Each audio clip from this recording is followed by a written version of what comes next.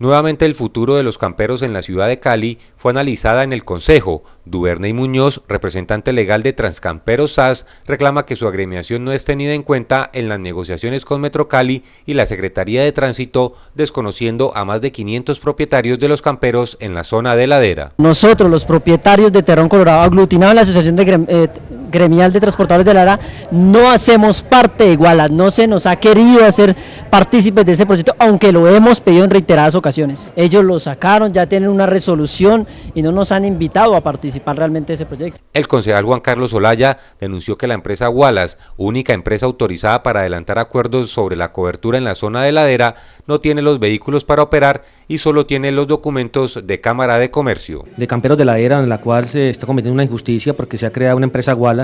con tres, em, con tres eh, firmas de empresas donde únicamente es la Cámara de Comercio porque de resto no tienen vehículos o si tienen muy poquitos y donde los grandes representantes de los vehículos, más de 500 vehículos que están en las bases, en los transportadores, pues no los tienen en cuenta para esta negociación. Por su parte, el secretario de Tránsito de Cali, Alberto Haddad, confirmó que Wallace solo agrupa las empresas que prestan el servicio en la zona de ladera. No, los vehículos nuevos no los tienen, están apenas sentándose con Metrocali a mirar cómo es el modelo y qué tipo de vehículo. Ellos están operando, son las empresas afiliadas